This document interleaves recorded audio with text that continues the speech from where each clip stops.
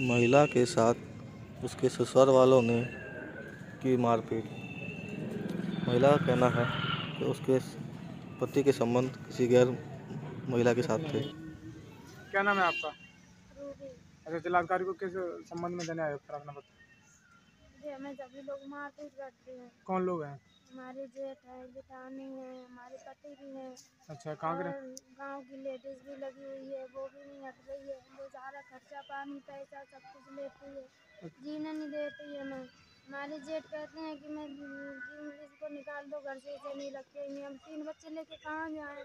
कहीं फांसी लगाते कहीं कुछ करते हमें इंसाफ नहीं मिल रहा ना हमारी सुनवाई हो रही कहाँ के रहने वाली आप हैं? कुछ मरा के। अच्छा। अभी तक थाने में आपने एप्लीकेशन दिया था? दिया था वो भी नहीं सुनवाई हुई। आज फिर